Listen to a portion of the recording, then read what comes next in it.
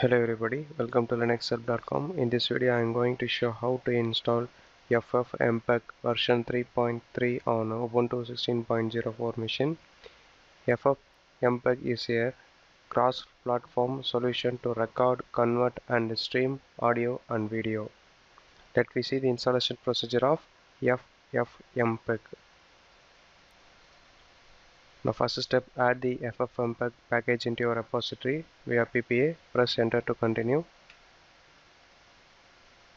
Press enter again enter to continue. Now the package is added into your repository. Now next step update your machine by typing apt get update. Press enter now.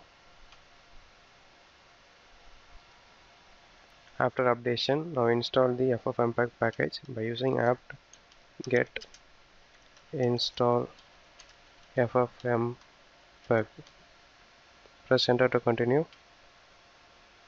Press y to continue. The size of ffmpeg package is a little bit high. This installation will take more time until you have to wait. Now ffmpeg package is installed.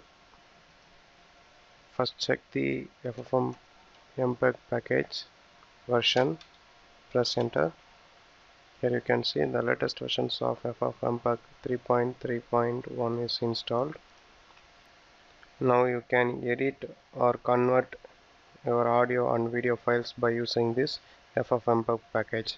This is the method to install ffmpeg package in ubuntu 16.04 machine. Thank you for watching